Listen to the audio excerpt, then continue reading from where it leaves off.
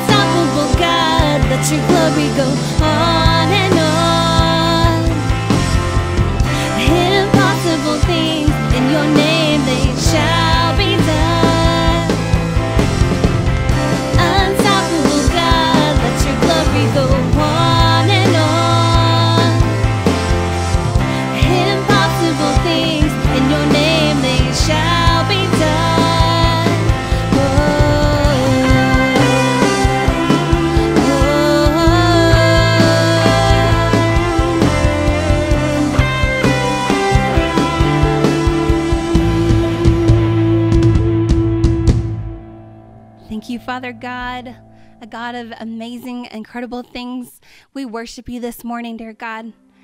And one thing that we want to do is just invite our Father God into our homes, invite His presence into your household this morning, invite Him there with your family.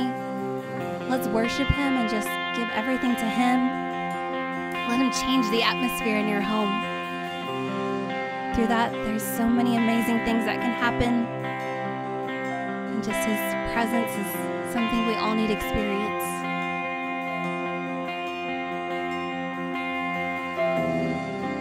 There's nothing worth more that could ever come close.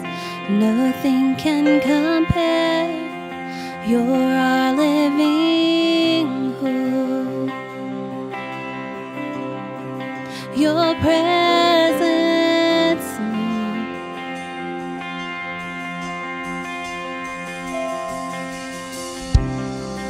I've tasted and seen of the sweetest of loves when my heart becomes free and my shame is up.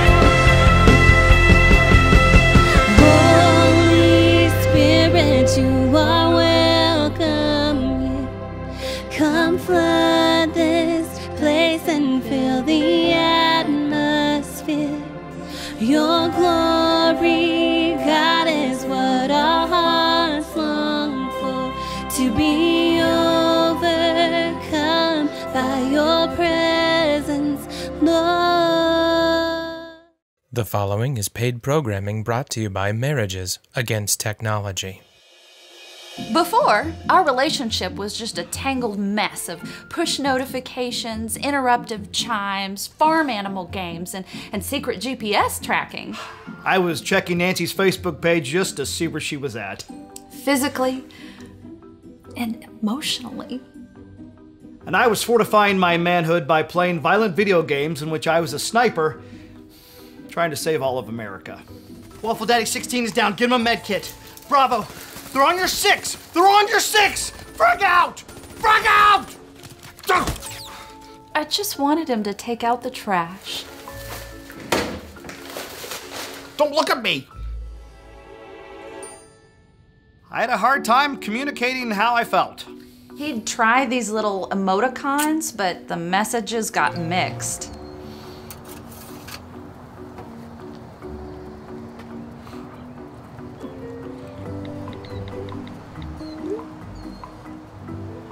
I have fat thumbs.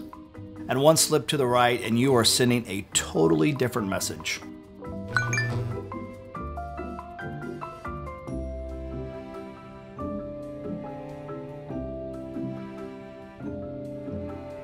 It got to the place where I was finding attention elsewhere. Oh, come on. Come on! Come on! We were talking about separating. And by separating, we mean buying an additional tablet so we could each have one. The point is that we were chewing up our data with nothing to show for it. And that's when we discovered unplugging. It's a form of communication that requires no electricity or Wi Fi. Oh. It was awkward. We were just sitting on the sofa, the two of us, no devices. The eye contact alone was. Can I even say this on TV? We were talking without the football score dinging on his phone. For her, it used to be words with friends, but now it's words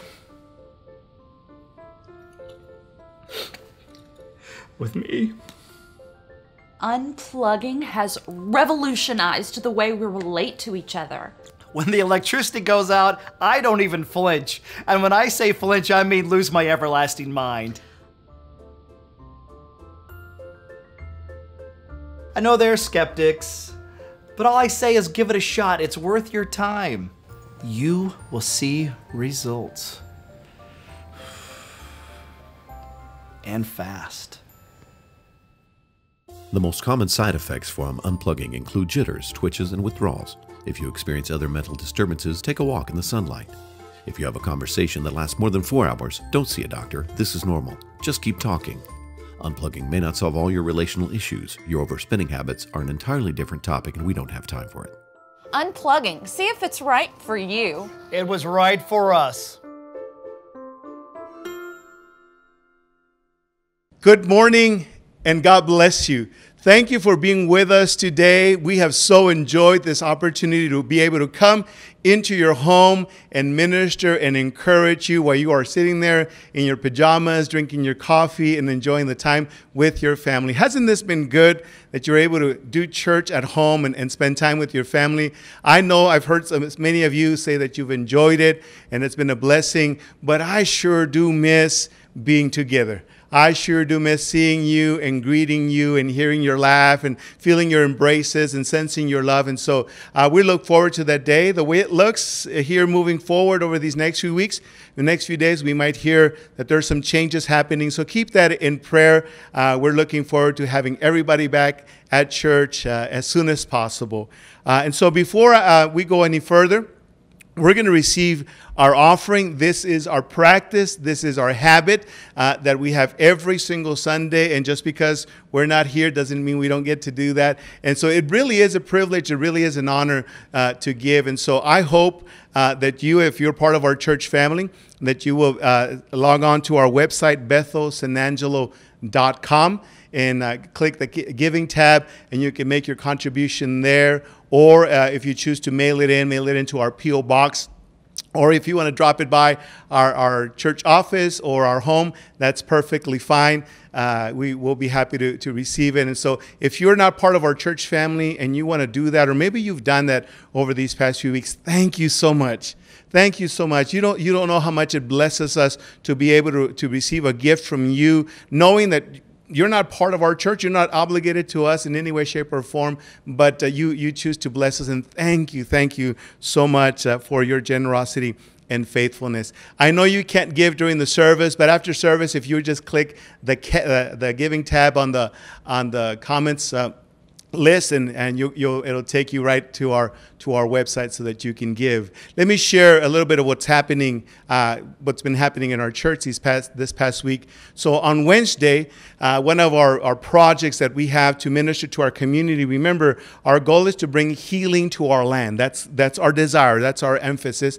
And so we desire, decided to do something uh, for our community especially our our healthcare workers. You know that many of them are under a lot of stress and under a lot of pressure with everything that's been going around. And we just wanted to acknowledge their efforts. We wanted to acknowledge their sacrifice and their time. And so, what we did, our church, we partnered with Chick fil A on Knickerbocker here in San Angelo and Cici's Pizza here in, here in San Angelo. We got together and we took lunch to the community Community Medical Associates uh, here in San Angelo. That's the, the clinics uh, on Executive Drive right next to Community Hospital. So we took uh, lunch to them and a, and a small gift. You'll see some images here in regards to, to what we did. Uh, and so all we did was just we were there. We prayed with some of them. We were glad to be able to, to lend, a, lend a, a, a word of encouragement and acknowledgement for their time and, and sacrifice. Let me, let me say this real quick because – if you have somebody in your family who's who's in the medical field, you know what they're going through.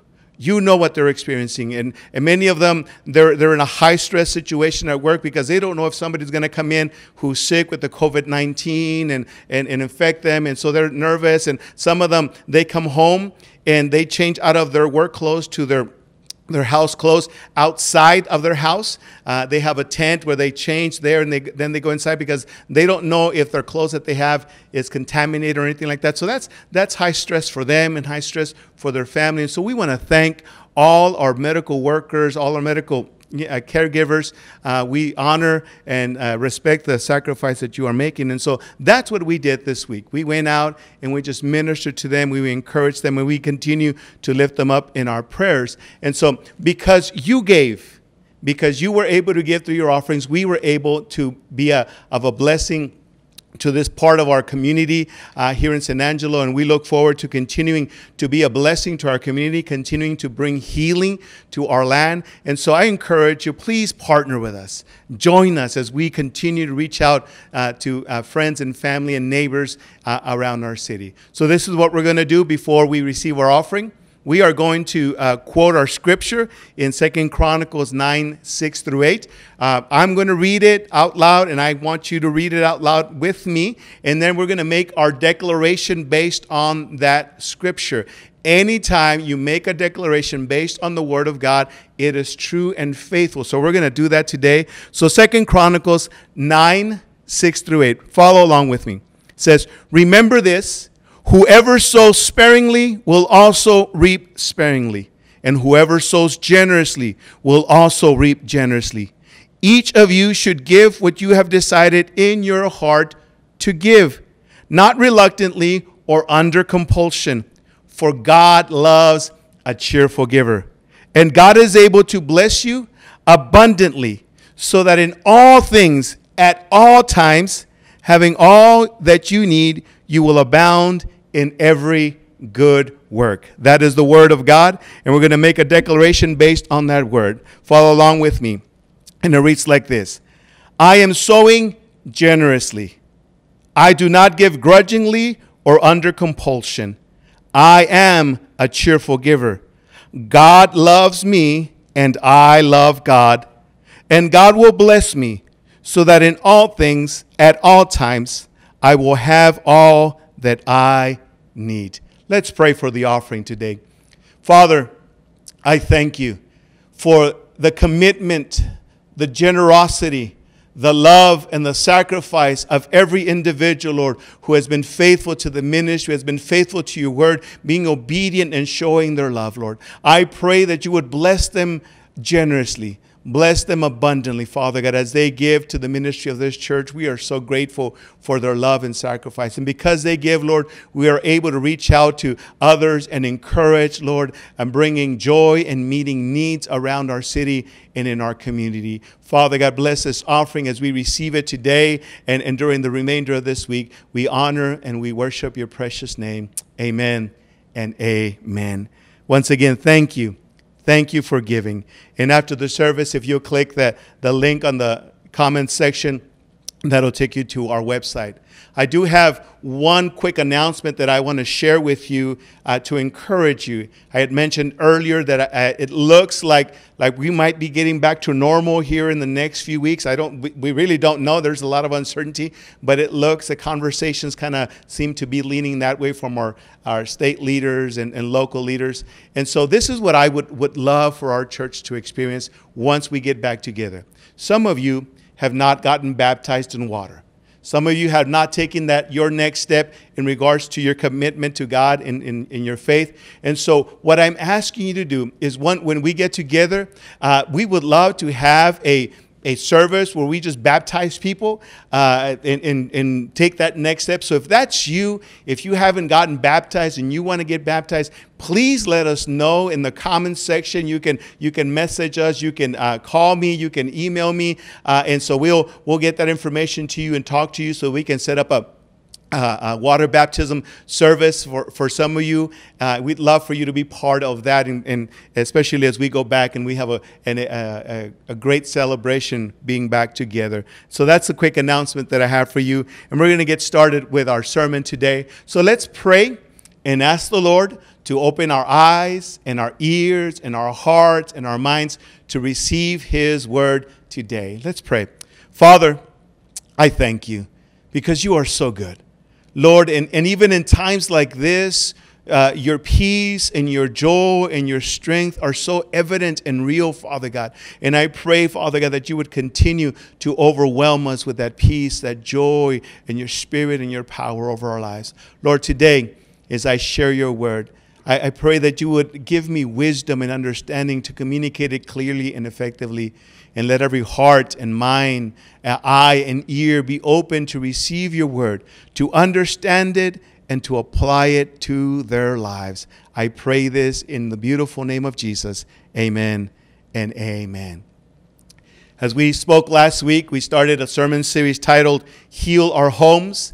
Uh, we want God to bring healing to our homes uh, in our church. And last week I mentioned uh, that the vision of our church is to build strong families. That's, that's what we believe God has called us to do, to strengthen the family. Because I know this, and I, I believe this with all my heart, that if we have a strong home, it, it's, it's going to help us to have strong churches and communities. And, and if, if your home is healthy, it doesn't matter what's happening around, you can always go home.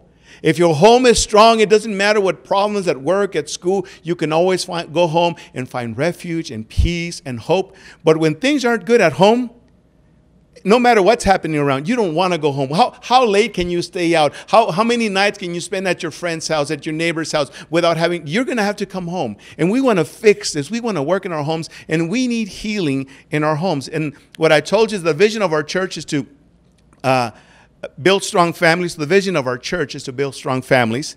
And the way we're going to do that is by having faith in Christ, acknowledging, acknowledging Him as our Lord and Savior, and obeying His word that He's given us, and being empowered by the Holy Spirit. So, as you have faith in Christ and as you obey His word, then you will be able to uh, be empowered by the Holy Spirit to heal your home. And that's what we really want. And so, last week, we started just, just to give you a little bit of a, of a backdrop of what we did last week so we can set a good foundation and we can start rolling down. Uh, we, we used the scripture in Ephesians chapter 5, verse 18. Listen to this.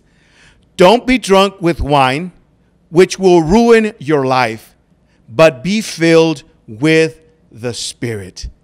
Don't be drunk with wine, which will ruin your life. And how many, how many of you know that lives and homes have been ruined by alcohol? I mean, lives, it just, people have died, people, marriages have fallen apart, businesses because of alcohol. Because alcohol is a control, control substance, and so is the Spirit. The Spirit of God can control you. And so we, we learn how kind of this works in our lives. And in Ephesians, the Apostle Paul uses alcohol, and then again in Galatians, he doesn't use alcohol, but he use our he uses our sinful nature, how we can be controlled by the sinful nature, which leads to division and contempt and quarreling, or we can be controlled by the Holy Spirit. And in Galatians chapter five, verse twenty-two, this is what it says: "But the Holy Spirit produces this kind of fruit in our lives: love, joy, peace."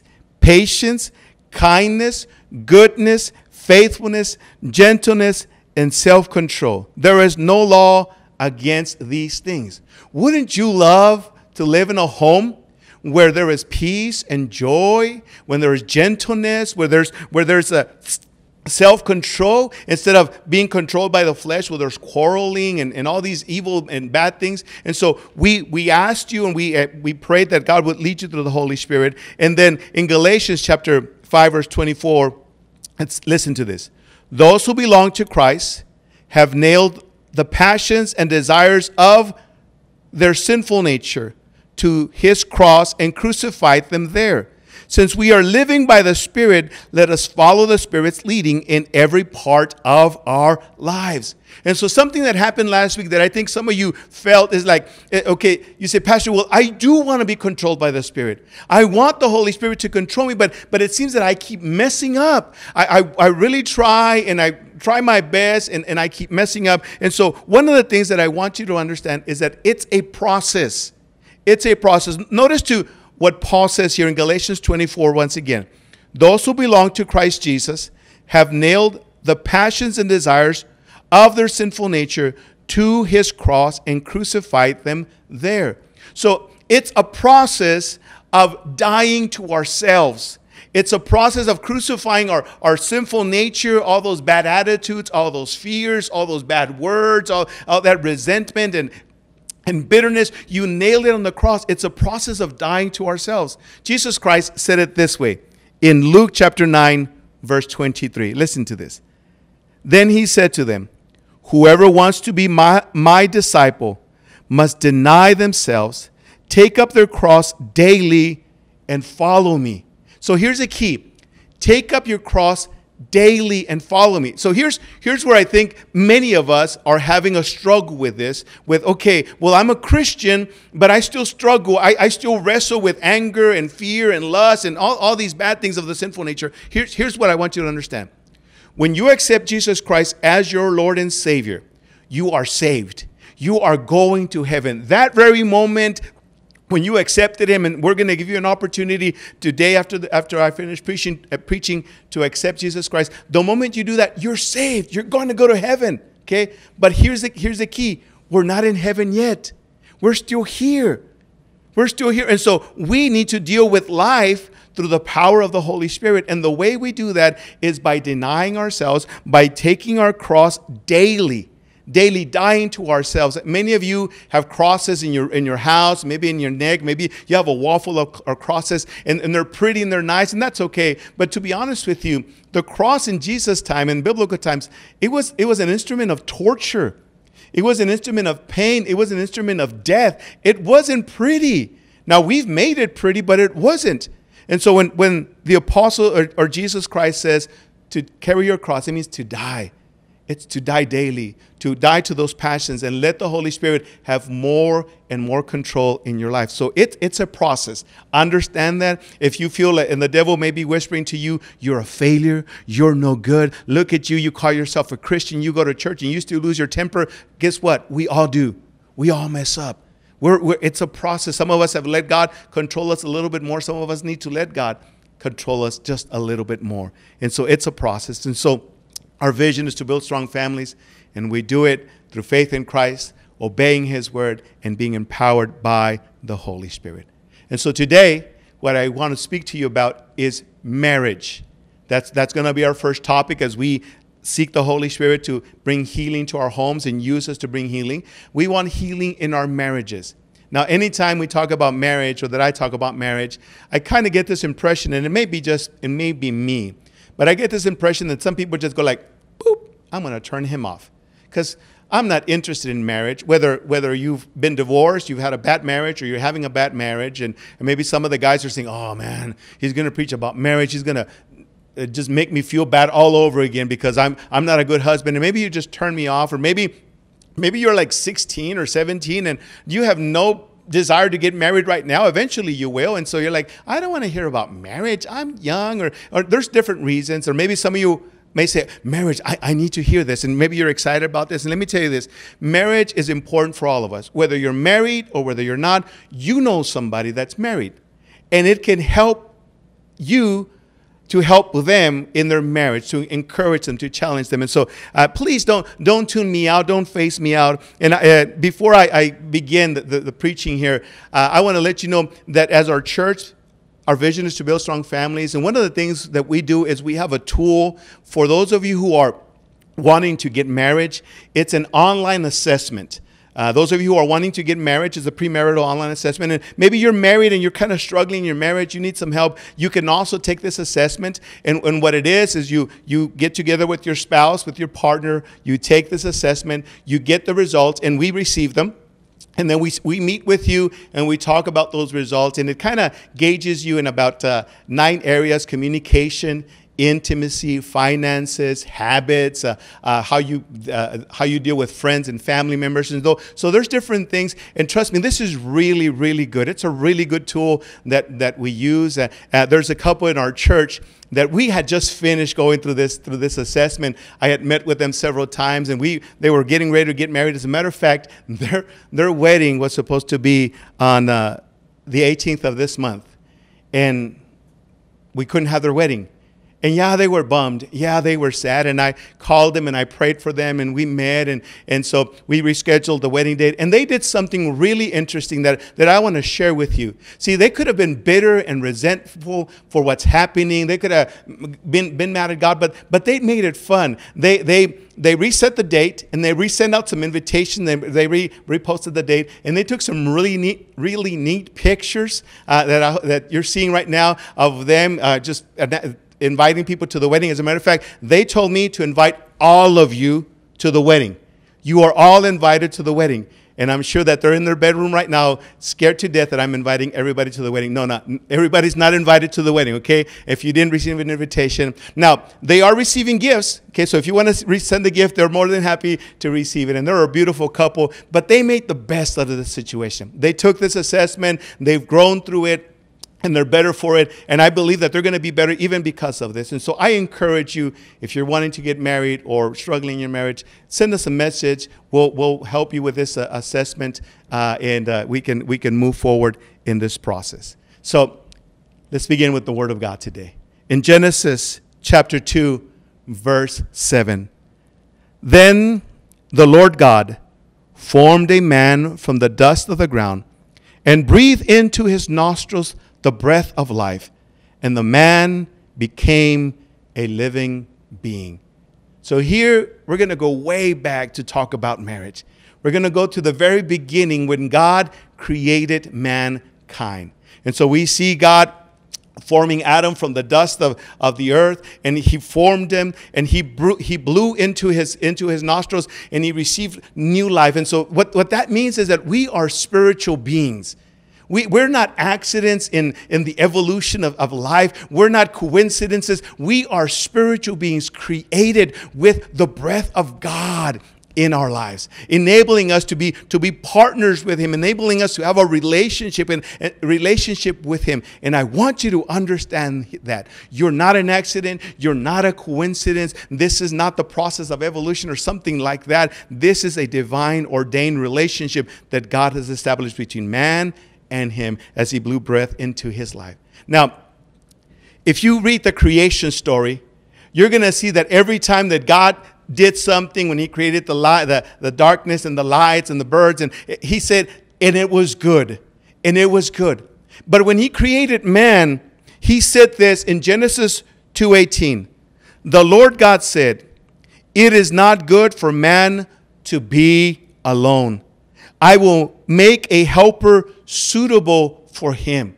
So God created Adam and God realized, wait, it, it's not good. I mean, everything else was perfect, but on this area, I kind of, there's something lacking. This man needs a woman. This man needs a companion, something, somebody to come alongside him and help him and, and, and you and, and encourage him and uplift him. And, and so, and so what he did in Genesis chapter 2, verse 21, listen to this.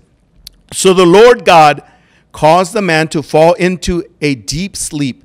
And while he was sleeping, he took one of the man's ribs from the side, closed up the, pl- the place with flesh. Then the Lord God made a woman from the rib he had taken out of the man, and he brought her to the man. The man said, This is now bone of my bone and flesh of my flesh. She shall be called woman, for she was taken out of man. That is why a man leaves his father and mother and is united to his wife, and they become one flesh. Adam and his wife were both naked and they felt no shame. So here's the creation story God created Adam, breathed life into him, his breath, his spirit.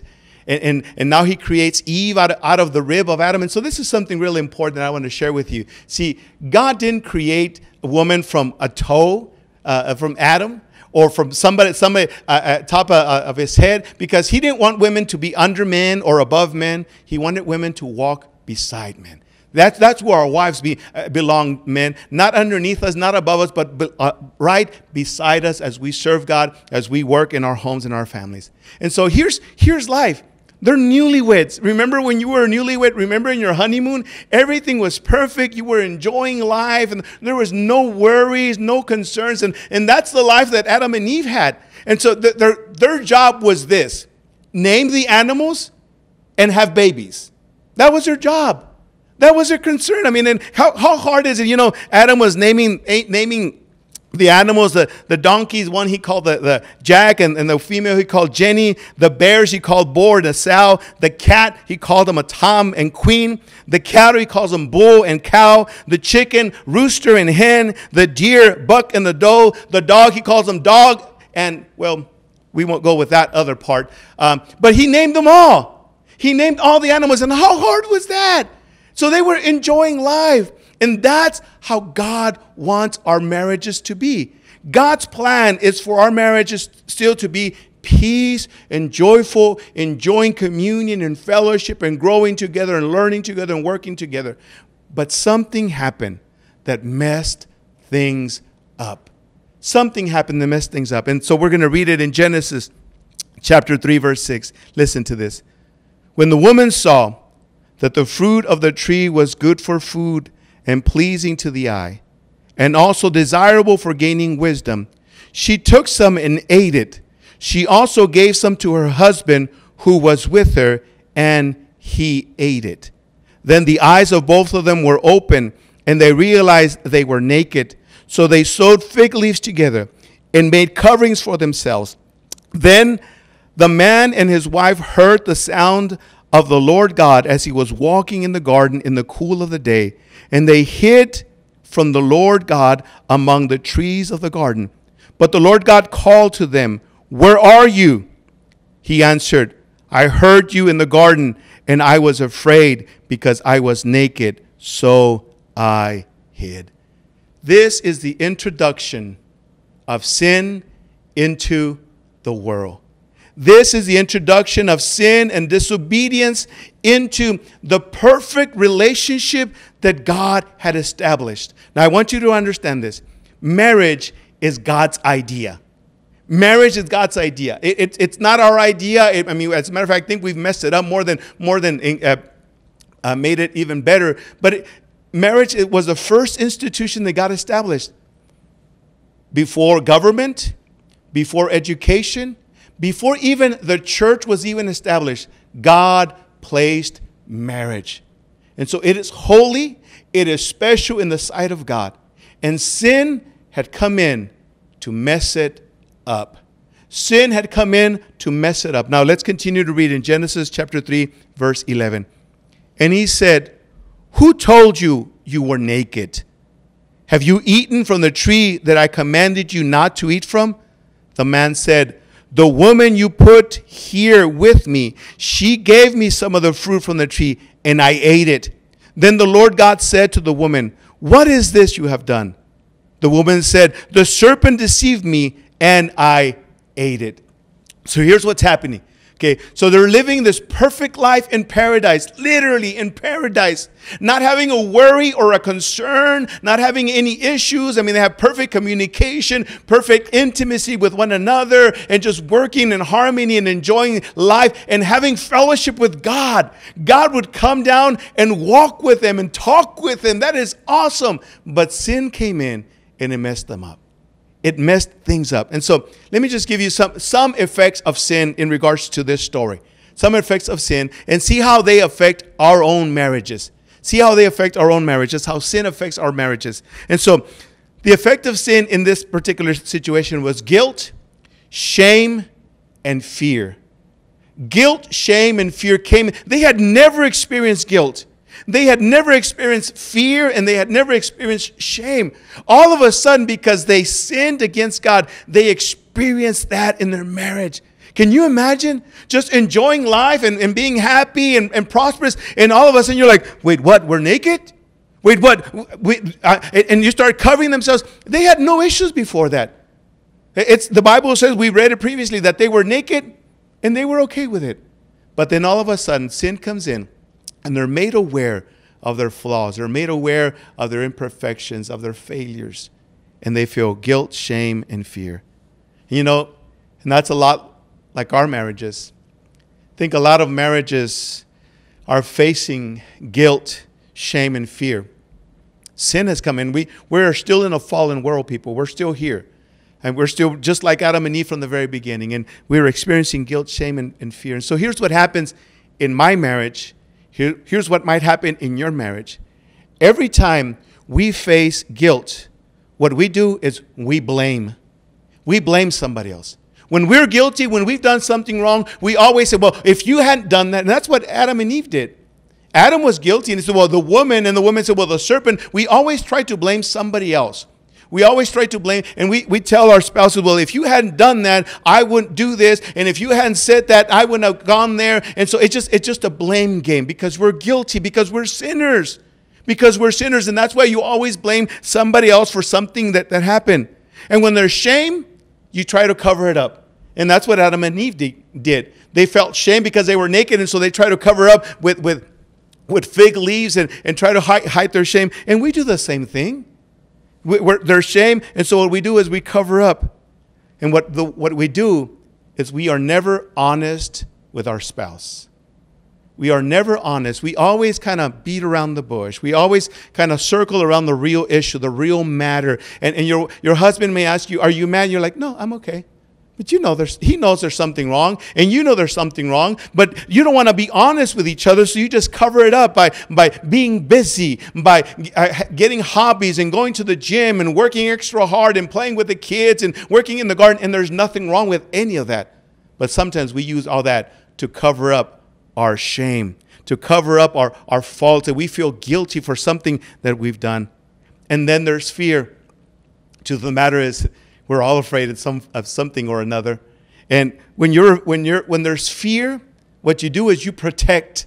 You protect yourself because I'm afraid and I'm not going to let anybody hurt me. I'm not even going to let my wife. I'm afraid or that, that she's going to hurt me. I'm afraid that he's going to hurt me. So what you do is that you protect. And one of the ways that I've seen in marriages that we protect is by being selfish and being prideful. See, when you're selfish, all you're doing is worrying about yourself. You're, you're, you're just protecting yourself and you're being selfish and, you're, and when you're proud, you kind of elevate yourself above everybody else. And that is one of the worst things that you can have in marriage. And you do that all the time. You're selfish and you say, well, if she if she hadn't done that, I I, I, I wouldn't have done it. But but because she did it, then I'm not going to do it. I'm not going to go. I'm not going to be there. I'm not going to help. I'm not going to. And you become prideful, and that that burns at marriage. It eats marriage alive. That's what sin does. And we need to understand that, couples. We need to understand that husband. You need to understand that wife, that because of sin, our marriages are crumbling, they're falling apart. And so here's what happens. Not only do we have guilt, shame, and fear, among other stuff, but it causes separation. It causes separation from God and it causes separation from each other. Because when there's sin, it's hard to be intimate. When it's there's sin, uh, it's hard uh, it's for us to be together. When there's guilt, shame, and fear, it's hard for us to be with each other. So it separates us. We may sleep in the same bed, we may live in the same house, we may drive the same cars, but we're never together. We'll always find an excuse. She sits over there, I sit over here. She goes to bed early, I go to bed late, and I get up early and she gets up late. And, and we're, we're, we're always finding a place where we're never together because there's that guilt, shame, and fear because of sin. But it also separates us from God. With Adam and Eve, what happened because they sinned, God said, You got to leave. You, you have to leave the garden. And, and he kicked them out of the garden. And, and you know the consequences. They had to work for their food and, and labor pains and all that, all that stuff. And so it created a separation between them and between God. And it creates a separation between us, our spouses, and between God. And so what do we do? Where do we go from here? I know that I'm a sinner. I know that, that I mess up all the time. So what do I do? Let me read you John 3:16. We're going to be reading all the way to verse 21 if you've got your Bibles open. It says, For God so loved the world that he gave his one and only Son, that whoever believes in him shall not perish but have eternal life.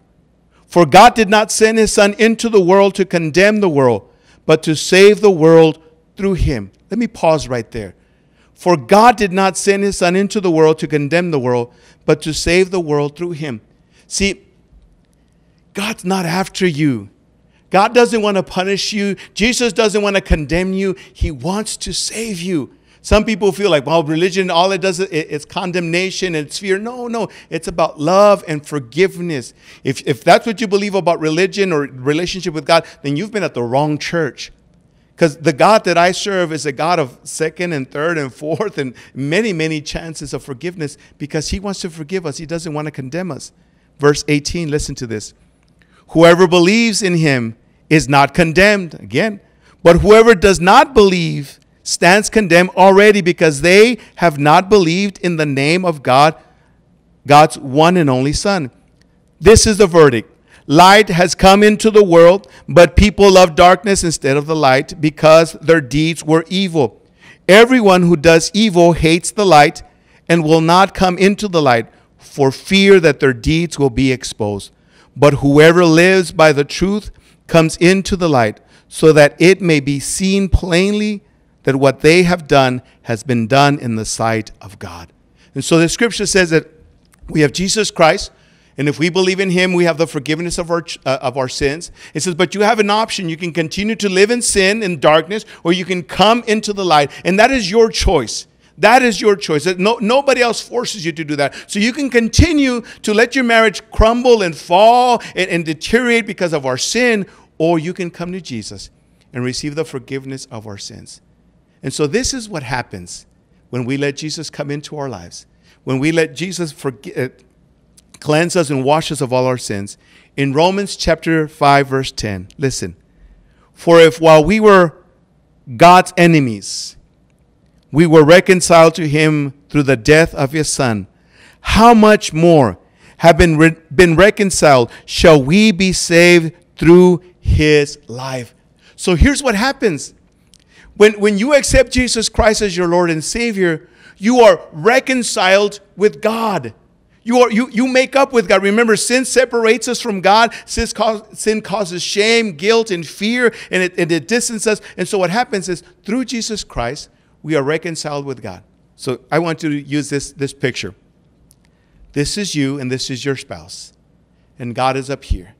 Through Jesus Christ, we receive reconciliation, which means that we can draw close to God. We can get close to God. And notice what happens? As we get close to God, we are getting closer to each other. We are becoming more intimate. We are, we are ignoring the fears and the doubts and the hurts and the, and the shame and the guilt, and we are moving closer to forgiveness and a relationship not only with God, but with each other. I know this, people, because I know it because I've lived it in my own life. See, the reason my marriage is what it is is because I've been able to draw closer to God, and so has my wife. Now, we're not here yet, but we're, we're getting closer Every day, every week, every month, we move a little bit closer to God. And there's sometimes we, we mess up. Most of the time, it's me. Okay, we mess up. We kind of fall back a little bit, but we get back up and we, we repent and we ask Jesus to help us. We are empowered by the Holy Spirit and we keep moving closer and closer. So, wherever you're at, maybe you're over here or maybe you're somewhere up here, it doesn't matter. Continue to seek the reconciliation that can only come through Jesus Christ with the Father. Let me read this last scripture to you. 2 Corinthians 5:18. All this is from God, who reconciled us to himself through Christ and gave us the ministry of reconciliation. That God was reconciling the world to himself in Christ, not counting people's sins against them, and he has committed us the message of reconciliation. Here is the key for healing our homes. As you are reconciled with God, as you are drawing close to Him, He gives you the ministry of reconciliation, which means it is your job to reconcile your family, to reconcile your spouse, your wife, your husband to God. And so that's where it comes. Maybe you're you're reconciling, you're moving, and your husband isn't. It's your job, wife, to come to him, babe. You need Jesus in your heart. Let me pray for you and let's pray together. And that's where it comes. And you're reconciling your home, you're reconciling your, your, your family to draw closer to God. So, this is what we're going to do right now. We're going to pray.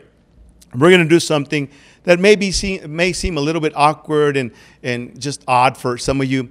But I'm going to ask mom and dad, if mom and dad are home, I'm going to ask mom and dad to sit together and, and maybe you're sitting, mom, one of them sitting up there, the other one's sitting over here, and so get close to each other, and don't don't be saying, "Well, I'm over here, you come." No, no, no. Humble yourself. Remember, it's not pride or selfishness. Take the next step. Get get close to each other, because I want to pray for you.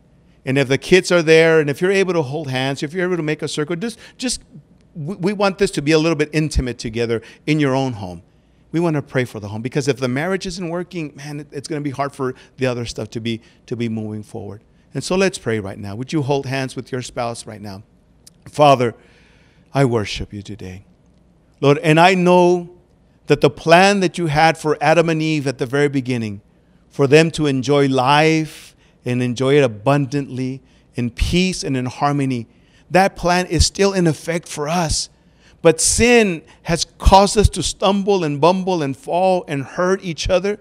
We feel guilt and shame and fear in our lives, and that causes us to be distant from each other. But today, we pray, Father, through the name of Jesus Christ, that you would forgive us of all our sins. Ask Him right now.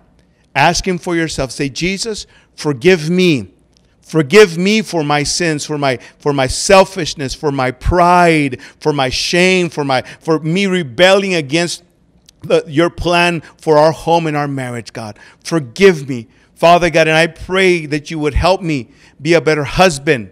I pray that you would help me be a better wife, that we would draw closer to you, and as we draw closer to you, we would draw closer to each other.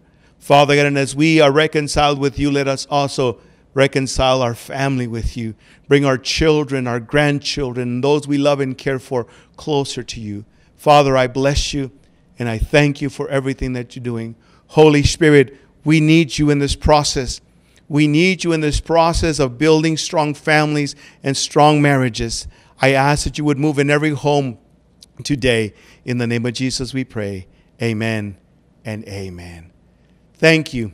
Thank you for joining us today.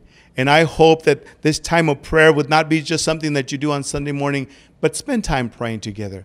During, during the week, during, during the day, uh, just pray for each other. It doesn't have to be sophisticated or eloquent. Just hold your spouse's wife and say, God, we need you. We need you desperately. And make that a prayer every single day as you seek reconciliation with God and with each other. We love you. We miss you. We look forward to seeing you once again. If there's anything we can do, please let us know. Uh, let us know in the comments. Again, for those of you wanting to take that assessment, uh, for those of you who want to get married or, or having issues in your marriage, we want to help you in that process. Once again, we love you. God bless you, and we'll see you next week.